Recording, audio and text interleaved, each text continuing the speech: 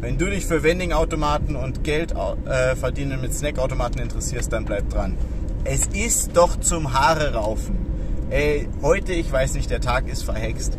Ich bin jetzt gerade zu dem Vorstand von dem Verein gegangen und ähm, dann habe ich geschafft, seine private Wohnadresse zu, herauszufinden über die Vereinsseite. Da war dann erstmal seine Frau, die hat gesagt, sie weiß nicht, wann er wiederkommt.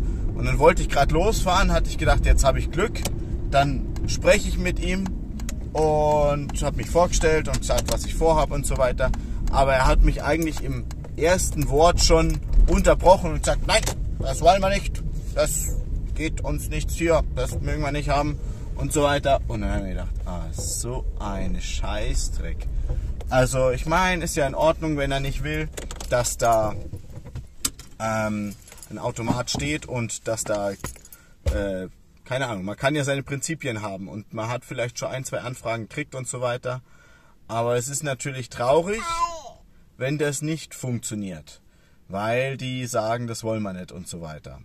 Aber das ist halt jetzt mein Leben. Probieren, Standorte zu finden.